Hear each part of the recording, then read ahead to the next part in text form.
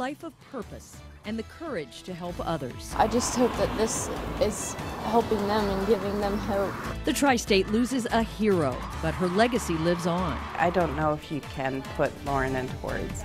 She almost created her own adjective. I'm here not for me, I'm here for everybody else. Today, Lauren Hill will be remembered as a fighter.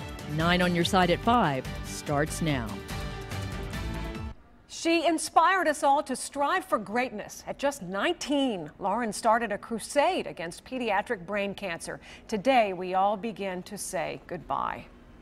The other day, we all got to go see her. The team went in to see her yesterday. Uh,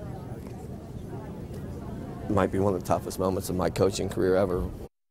But the fight goes on. Today, the Tri State rallies for Lauren the way she rallied to find a cure for DIPG in her final days. It seems like every second there is another tweet, post, or message out there in honor of Lauren's legacy. We've been following Lauren's story since last year, of course. She was determined to play in a college basketball game despite her illness. We begin tonight with a reminder of how Lauren inspired us all. What can you say about a 19 year old girl who died too soon? You can say she loved basketball.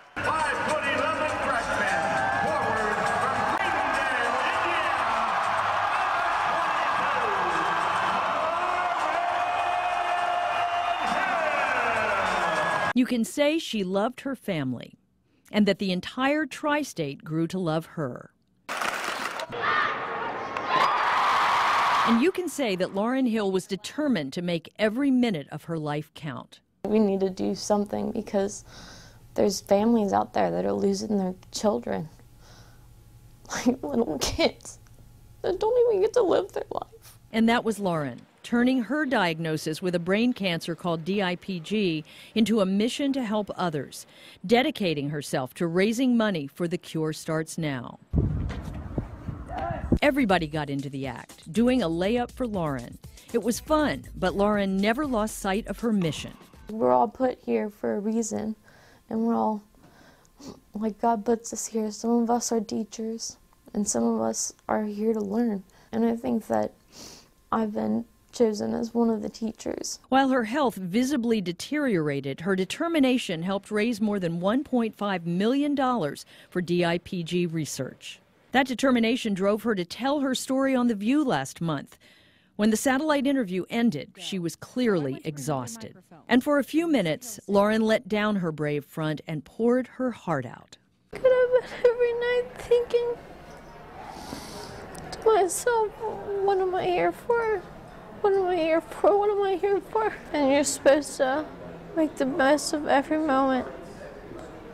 But it's hard. It's really, really hard.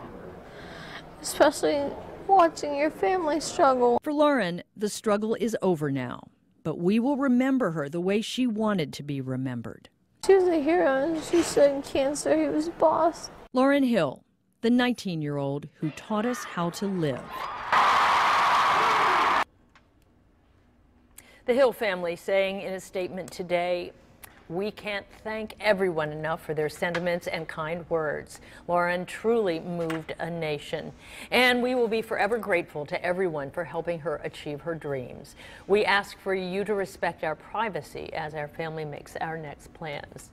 There's so many times today that it just brings tears to my eyes. Yeah to think about. It, it's just, you know, it's just so amazing what she accomplished and how she mm -hmm. touched us all so much that she just kept going and going and going. No, she really we did. have a lot to get to tonight, Lauren. That's right. Hang in there, Carol. well, you know, Lauren once said she didn't want people to say she lost her battle with cancer. She won in so many ways, and she wanted people not to mourn, but to act. That is why we are making today a day of kindness. It's a trend growing nationwide. People as far away as Tampa and Denver doing things in Lauren's honor, kind things. And later this half hour, you're going to see that hashtag in action.